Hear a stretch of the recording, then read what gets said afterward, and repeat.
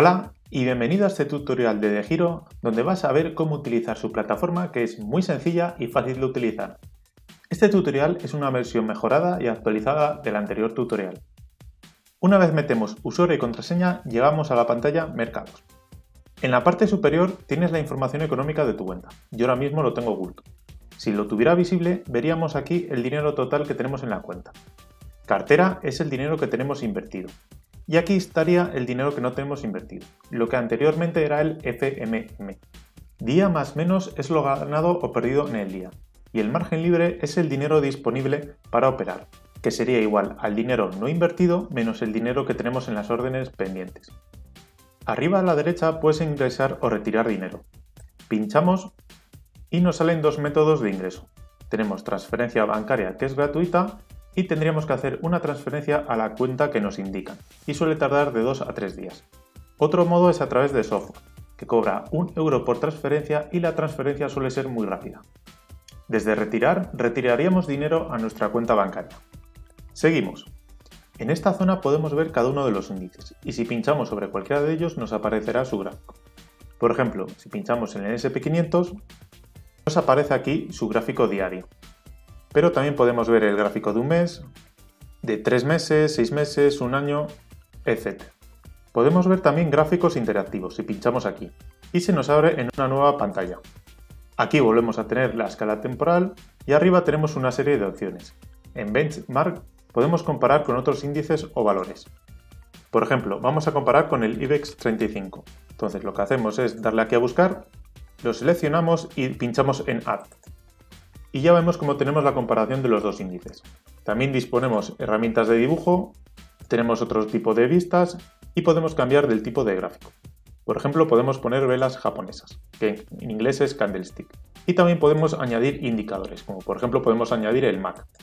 Y vemos cómo nos aparece aquí debajo. Volvemos donde estábamos. Si bajamos, lo que nos encontramos son las últimas noticias, y si pinchamos, pues nos sale la noticia. Si seguimos bajando, llegamos al apartado de ganadores y perdedores. Aquí vemos los mejores y peores valores del día. Por defecto nos salen del IBEX 35, pero podemos verlo de cualquier índice. Si pinchamos por ejemplo el CAC 40, vemos los valores que más han subido y más han bajado del índice francés. Vemos como en todos tenemos una C y una V, que es para mandar una orden de compra y de venta, pero lo veremos más adelante.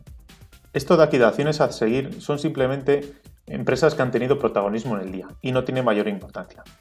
Si seguimos, nos sale los pares de divisas, los futuros y la cotización de las materias primas. Volviendo con el tema de las noticias, han incluido aquí un apartado de noticias. Pinchando nos salen las noticias principales. Para leerlas solo es pinchar en ella. Pero podemos filtrar también las noticias por continentes, por regiones, por industrias, etc. Aquí también han incluido un apartado de agenda y aquí nos muestra las compañías que pagan dividendo. Nos indica también la fecha ex dividendo. Las personas que tengan las acciones al cierre del día anterior a esta fecha cobrarán el dividendo. También nos indica el importe del dividendo, la rentabilidad que supone y el día efectivo de pago. Podemos ver los dividendos de hoy, los dividendos que pagarán mañana, esta semana y la próxima. En este apartado aquí de beneficios nos indican los beneficios por acción que ha tenido la compañía y los beneficios que estaban previstos. Y lo mismo con los ingresos. Y volvemos a tener lo mismo que para el caso de los dividendos. Podemos ver la presentación de beneficios de hoy, de mañana, de esta semana, etc. Si pinchamos en Split, pues tenemos lo mismo. Nos muestran las compañías que los hacen hoy o en los próximos días. Ahora nos vamos al siguiente apartado, favoritos. Aquí se nos muestran los valores que hemos seleccionado como favoritos. Esto es por si queremos tener una lista de valores a los que queremos seguir. Podemos tener varias listas. Para crear una lo único que tenemos que hacer es ir a añadir lista. Y por ejemplo vamos a añadir la nueva lista que se va a llamar vigilar. Vale, pues ya la tenemos creada. Si nos vamos ahora a la pestaña vigilar, vemos que no tenemos ningún valor como favorito en esta lista. Si queremos añadir un valor, lo único que tenemos que hacer es buscarle arriba. Por ejemplo, vamos a buscar Amazon y nos vamos a pinchar en los tres puntitos verdes. Entonces aquí ya nos muestra que está añadido a favoritos. Si no estuviera en ninguna lista de favoritos, simplemente pondría añadir a favoritos, por ejemplo. Si vamos a American Express, vemos como no está añadido a ninguna lista. Volvemos a Amazon. Si pinchamos aquí nos muestra en qué listas está. Por ejemplo, en este caso la tenemos en la lista favoritos, pero también la podemos añadir a la lista vigilar y también la podemos quitar de favoritos. Es decir, puede estar en una lista, en varias o en ninguna. Por ejemplo, en este caso la vamos a dejar en favoritos y en vigilar. Damos a confirmar y ya tenemos aquí metido a Amazon en nuestra lista. Para quitar un valor de la lista favoritos, lo que tenemos que hacer es pinchar en la estrella y luego quitar el tick de la lista de la que la queramos eliminar. Por ejemplo, en este caso, quitamos el de vigilar y damos a confirmar. Y vemos cómo nos desaparece de la lista de favoritos. Si nos vamos a la cartera, se nos muestra los valores que tenemos comprados. Y aquí tengo un ejemplo. Lo que tenemos aquí es lo siguiente. Tenemos el botón de comprar y vender la acción, tenemos el nombre de la acción, la letra es la categoría de riesgo que la da de giro, siendo la A la que menos riesgo tendría y la D la que más pero yo es un dato que no lo veo relevante. Luego, depende del zoom que le demos, pues aquí nos aparecería la bolsa en la que cotiza y nos aparecería que sería el Nasdaq. Pero como lo tenemos aquí puesto más grande, pues de giro nos va ocultando las columnas que considera menos importantes. Luego aquí tenemos el número de acciones que tenemos compradas, el precio al que cotiza y la moneda. Este es el valor actual de las acciones en nuestra moneda, en este caso serían euros, Aquí tenemos el precio medio de compra, la ganancia o pérdida de hoy en número y en porcentaje. Y aquí se incluye tanto la subida o la bajada de la acción como la variación del tipo de cambio, en este caso entre el euro y el dólar. Si seguimos, aquí tenemos la ganancia o pérdida bruta en número y también en porcentaje.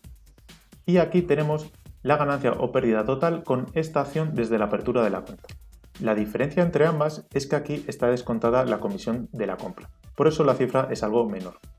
En caso de cobrar dividendos, esta cifra también estaría incluida aquí, pero en cambio aquí no. Por último, aquí si nos pone BT, lo que nos indica es que nos está dando el precio en tiempo real. Si el punto en verde en verde fuese naranja, y en vez de BT pondría un 15, lo que significa es que nos está dando el precio de la acción con 15 minutos de retraso. Ahora, si pinchamos en el nombre de la acción, nos lleva a esta pantalla.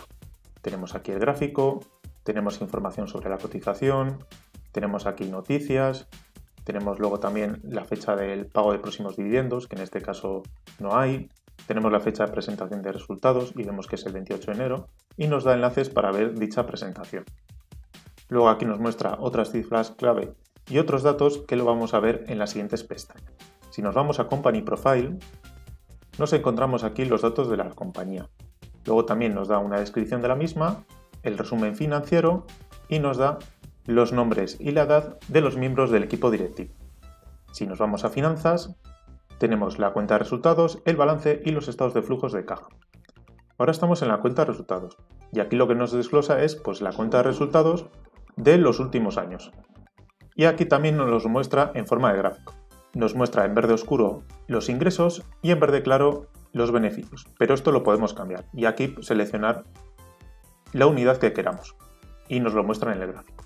Si pinchamos en el balance es algo similar. Tenemos aquí un gráfico que es editable y luego debajo pues nos ofrece el balance de los últimos años. En el caso de los estados de flujos de caja pues es similar. Si nos vamos a ratios Aquí nos muestra algunos ratios de la compañía, como puede ser el PER. Y si nos vamos a documentos, en este caso vemos que no hay nada.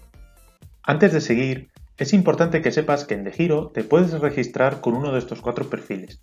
Las diferencias principales son que con los perfiles Basic y Custody no te puedes apalancar, no puedes invertir en corto y no puedes invertir con derivados. Y con perfil Active y Trader sí. La diferencia entre Basic y Custody es que con Basic permites que de giro preste tus acciones y con Custody no. De giro, al prestar acciones a inversores que operan en corto, gana dinero. Por eso, el perfil Basic tiene la ventaja de que de giro no te cobra ninguna comisión por cobro de dividendos, y con el perfil Custody sí. La diferencia principal con Active y Trader es que con Trader te puedes apalancar más que con Active. Puedes cambiar cuando quieras de un perfil a otro entre Basic, Active y Trader, pero no de ninguno de estos tres a Custody y viceversa. Si no te quieres complicar, empieza con perfil Basic, que es el que da por defecto de giro. Un cambio importante este año ha sido la unión de de giro con el banco alemán Flatex. Esto ha hecho eliminar el FMM y además ha aumentado el dinero de los clientes que está garantizado. Antes era de 20.000 euros y ahora los clientes tienen garantizados 100.000 euros, como marca el Fondo de Garantía de Depósitos de Alemania. Si te está gustando el vídeo, lo único que te pido es que le des a me gusta. Vamos a ver otra cosa importante. Para que no te cobren dos veces impuestos en el cobro de dividendos de acciones de Estados Unidos, te vas al dibujo de la persona, pinchas en información fiscal y después a enviar solicitud. Y ya vas marcando las casillas que te pidan. Yo no te lo puedo enseñar porque ya lo tengo relleno. Si nos vamos a actividad, podemos ver las órdenes que tenemos pendientes y el historial de órdenes. Vemos que ahora mismo no tengo ninguna pendiente. En transacciones están las compras y ventas que hemos hecho. En estado de la cuenta son los movimientos de dinero que hemos realizado y en informes tenemos la información para la declaración de la renta. Podemos acceder a transacciones, estado de la cuenta y a informes desde aquí o desde actividad. Ahora vamos a ver la parte importante, que es el apartado productos. Si pinchamos en productos, nos sale por defecto la lista de acciones. Y una vez que estamos aquí, funciona igual que en la parte de actividad que acabamos de ver. Podemos acceder a opciones, futuros, bonos, fondos de inversión, ETFs desde aquí o directamente desde el apartado productos. Si nos quedamos en acciones, tenemos dos vías para seleccionar el país y el índice. Lo podemos seleccionar desde aquí o lo podemos seleccionar desde productos. Y desde aquí podemos ver los distintos mercados en los que podemos invertir. Como vemos, en la plataforma de Giro podemos llegar a los sitios de distintas maneras. Bien, lo que nos está mostrando aquí es la lista de todas las acciones del índice que tenemos seleccionado. En este caso está seleccionado por defecto el IBEX 35. Como hemos dicho antes, si queremos comparar, pinchamos en la C y si queremos vender, pinchamos en la V. Por ejemplo, vamos a pinchar en la C de Amadeus y nos aparece el menú para cursar una orden. Si en vez de pinchar a la C lo que hacemos es pinchar directamente al nombre de la empresa, pues nos aparece su gráfico y bueno, lo que vimos con un 800 flowers. Vamos a cerrar este apartado de momento y lo que tenemos aquí es la opción para marcar como favorito, que es lo que hemos visto, y le metemos en la lista que queramos y nos da la opción de comprar y vender. Si pinchamos en compra, pues bueno, nos vuelve a aparecer el menú para hacer la compra. Pero también podemos buscar una acción desde aquí arriba en vez de tener que ir al índice a buscarla. Por ejemplo, si buscamos Solaria y pinchamos directamente en la C, pues nos aparece aquí el menú para hacerla. Si pinchamos en el nombre, pues nos llevaría a su gráfico. Así que vamos a volver donde estábamos. Volvemos a compra y nos aparece este menú. Lo que estamos viendo aquí es la versión con el ordenador. Si quieres ver cómo se usa con el móvil, que la verdad que es bastante sencillo, en la descripción te dejo un vídeo con la versión móvil. Y ahora vamos a ver cómo se compran las acciones. Para ello vamos a emitir una de las órdenes que nos da opción. Tenemos varias órdenes, tenemos orden limitada, a mercado y las de stop loss que veremos más adelante. Con orden a mercado lo que hacemos es mandar comprar un número de acciones determinado al precio más bajo que encuentre el sistema. Simplemente lo único que tenemos que hacer es aquí en número poner el número de acciones que queremos comprar y cursar orden. En este caso, el precio al que compramos suele ser similar al precio actual y la orden se ejecuta instantáneamente. Si lo que queremos hacer es una orden limitada, lo que hacemos es mandar comprar un número de acciones a un determinado precio. Y vamos a ver un ejemplo. Aquí en número vamos a introducir el, número de acciones que queremos comprar, por ejemplo 50. Y el límite vamos a decir, por ejemplo, que las queremos comprar a 20 euros. Entonces daríamos a cursar orden y aquí nos da un resumen de la orden para que verifiquemos que es correcto. Nos pone el precio al que hemos puesto la orden, el importe total de la operación y el número de acciones a comprar. Y aquí nos da los costes de la operación, es decir, las comisiones. Bien, ahora vamos a ver otro ejemplo. Vamos a ver un ejemplo con una acción de Estados Unidos. Vamos a buscar, por ejemplo, Amazon y vamos a dar a la C para comprar. En este caso, vamos a poner comprar una acción a, por ejemplo, 3.000 dólares. Damos cursar orden, vemos que todo está correcto y en este caso la comisión sería de 50 céntimos. Si quieres conocer todas las tarifas de De Giro, en la descripción y en el primer comentario te dejo un enlace y ahí te dejo un comparador de tarifas con otros brokers. Ahora, si damos a confirmar, pues ya hemos emitido la orden y aquí nos sale orden enviada satisfactoriamente. Si damos a ver, pues vemos que ya tenemos aquí la orden de Amazon y ahora mismo está pendiente, ya que el precio de Amazon es bastante mayor a 3.000 dólares. Si queremos eliminar una orden, pues simplemente damos aquí a la papelera y le damos pues confirmar. Y ya hemos eliminado la orden que acabamos de introducir. Ahora vamos a imaginar que queremos vender una acción. Lo podemos hacer desde cartera, que ya hemos visto que teníamos la acción de la C y de la V, o podemos ir directamente al buscador y buscar la acción. Por ejemplo, en este caso vamos a seguir con el ejemplo de 1800 flowers y lo vamos a buscar. Y en este caso, pues damos a la V.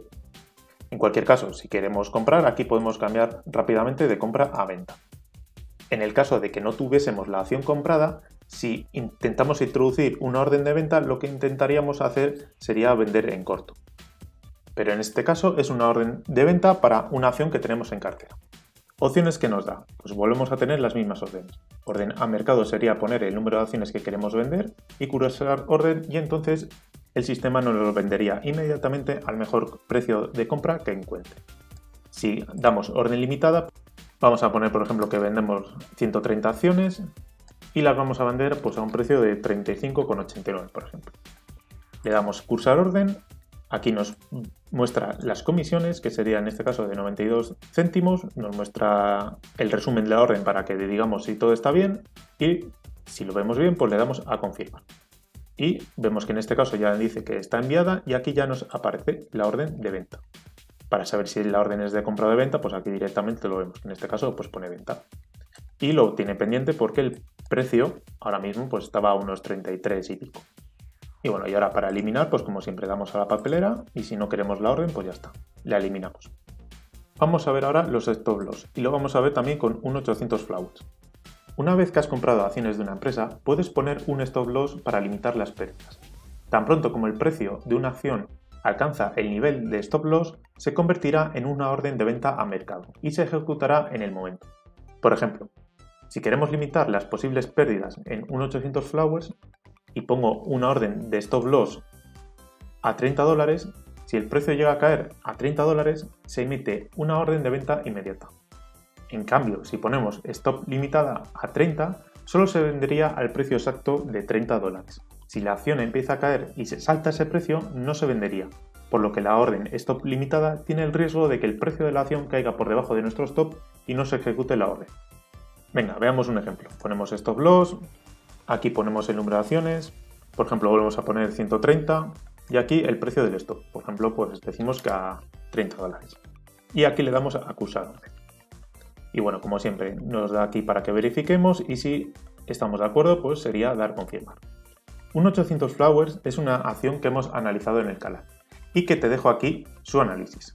También te dejo el botón para que te puedas suscribir. Si te ha gustado el vídeo, dale a me gusta y nos vemos en el próximo vídeo.